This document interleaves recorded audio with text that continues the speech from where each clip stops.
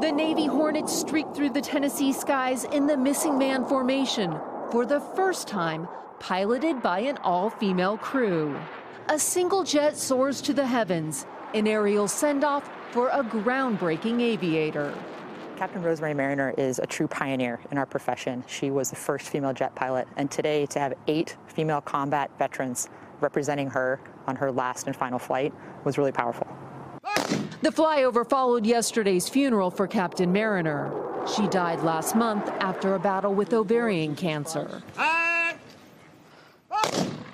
Rosie, as her friends called her, was the first woman to earn her Navy wings in 1973, the first woman to fly a tactical fighter jet, the first squadron commanding officer. She was a trailblazer in every sense of the word. Those pilots who followed in her footsteps say she was born to fly. Rosie, from day one, from the day she hit officer candidate school, had her sights set on flying jets, and nobody was going to tell her no. Once she earned her wings, she also earned the respect of her Navy commander, Officer John McCain. The love of her life, a fellow flyer, Commander Tommy Mariner. She uh, wanted the doors that she helped open, uh, she wanted those doors to stay open. Now, decades after breaking barriers, the next generation of female pilots forging their own paths. We've turned the corner.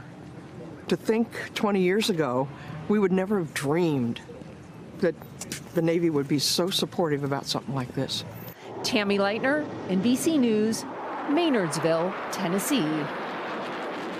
Hey, NBC News fans, thanks for checking out our YouTube channel. Subscribe by clicking on that button down here and click on any of the videos over here to watch the latest interviews, show highlights, and digital exclusives.